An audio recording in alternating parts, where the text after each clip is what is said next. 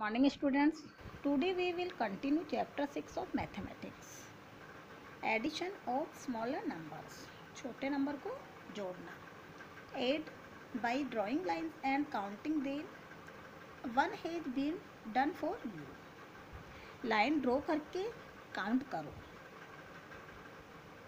जैसा कि यहाँ पे आपको दिखाया है four plus six equal ten यहाँ पे फोर नंबर दिया हुआ और सिक्स नंबर दिया है, बराबर टेन दिया हुआ है। तो आपको फोर लाइन यहाँ पे ड्रॉ करनी है और सिक्स लाइन ड्रॉ करनी है।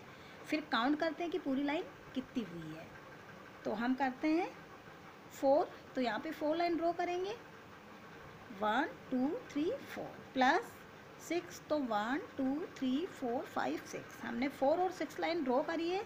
इजगल टू कितनी लाइन हुई? One two three four five six seven eight nine ten हमारी लाइन कितनी हो गई? टेन तो इसका आंसर क्या आया? Ten now count on the lines हम इन लाइन को काउंट करते हैं तो हमारा आंसर कितना आता है? टेन इसी तरह हमें नीचे फाइव प्लस सेवन दिया हुआ है तो हमें अब इनको लाइन से काउंट करना है।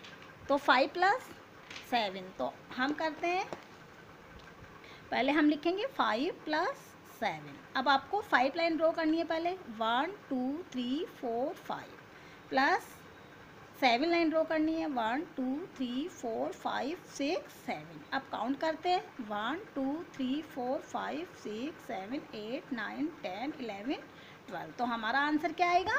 ट्वेल्व तो हम सर्किल में क्या लिखेंगे? ट्वेल्व इसी तरह आपको एट प्लस सिक्स तो आपको पहले एट लाइन ड्रॉ करनी है. One two three four five six seven eight plus six one two three four five six तो हमको अब टोटल लाइन ड्रॉ काउंट करनी है. One two three four five six seven eight nine ten eleven twelve thirteen fourteen तो हमारा answer क्या आएगा?